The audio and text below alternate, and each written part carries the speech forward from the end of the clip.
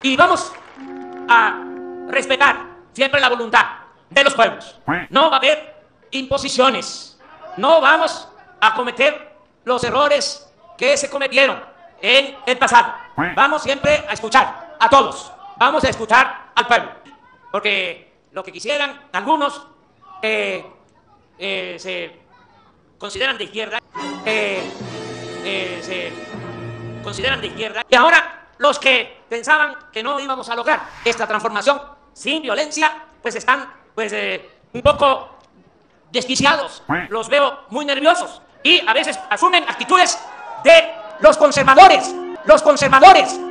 Es lo que se dice a veces de que los extremos se tocan, es decir, la extrema derecha y la extrema izquierda. Pero afortunadamente ya muchos, muchos están eh, reflexionando acerca de que no se puede eh, hacer oposición a un gobierno que está gobernando para servir al pueblo. Pero nosotros estamos representando un gobierno honesto, un gobierno democrático, un gobierno humanista. Y no vamos nosotros, repito, a cometer ninguna arbitrariedad.